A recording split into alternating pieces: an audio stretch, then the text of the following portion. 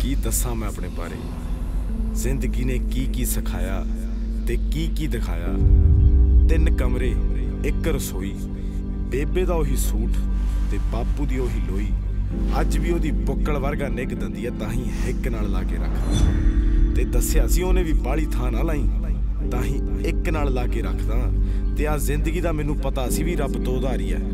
ਤੇ ਛੋਟੇ ਹੁੰਦੇ ਪੰਡਤ ਕਹਿ ਗਿਆ ਸੀ ਵੀ ਸ਼ਨੀ ਮੁੰਡੇ ਤੇ ਭਾਰੀ ਐ ਤੇ ਗੰਡੋੜੀਆਂ ਤੋਂ, ਕੰਨਾਂ ਤੇ ਗੋਲੀਆਂ ਤੱਕ ਦਾ ਸਫ਼ਰ। ਲੱਗੇ ਕੰਡਿਆਂ ਤੋਂ ਗੱਡੇ ਝੰਡਿਆਂ ਤੱਕ ਦਾ ਸਫ਼ਰ। ਕੁੱਲੀਆਂ ਪਹਿਲਾਂ ਤੋਂ ਤੇ ਹੁਣ ਮਹਿਲਾਂ ਤੱਕ ਦਾ ਸਫ਼ਰ, ਨਾਲੇ ਟੈਮਾਂ ਮਾੜਿਆਂ ਤੋਂ, ਅਖਾੜਿਆਂ ਤੱਕ ਦਾ ਸਫ਼ਰ। ਸਫ਼ਰ ਚੱਲ ਰਿਹਾ ਹੈ ਤੇ ਸਫ਼ਰ ਜਾਰੀ ਰਹੂਗਾ। ਸਫ਼ਰ ਜਾਰੀ ਰਹੂਗਾ ਬਾਈ ਜੀ। ਉਹ ਤੁਹਾਨੂੰ ਲੱਗਦਾ ਮੁੱਕ ਗਿਆ? ਕਦੇ ਭੀੜ 'ਚ ਹੁੰਦਾ ਸੀ ਤੇ ਹੁਣ ਇਕੱਠ 'ਚ ਨਾ। ਚੱਲ ਉਦਾਂ ਭਾਵੇਂ ਬਾਹਰ ਰਹਿੰਦੇ ਆ। ਪਰ ਜੇ ਲੋੜ ਪੈ ਜਵੇ ਤਾਂ ਪਿੰਡ ਦੀ ਸੱਥ 'ਚ ਪਰਵਾਹ ਨਹੀਂ ਮਾਰੀ ਦੀ ਕੌਣ ਕਹਿੰਦਾ। ਜੱਟ ਤਾਂ ਬਸ ਸਵਾਦ ਲੈਂਦਾ।